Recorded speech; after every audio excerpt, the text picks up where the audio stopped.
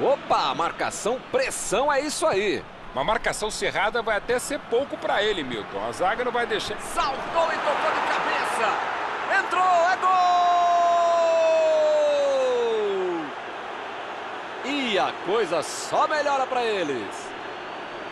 Se deixar ele cabecear, ele vai fazer um atrás do outro. Você quer ver uma cabeçada perfeita? É essa. Olha a frieza que o cara teve para marcar o gol.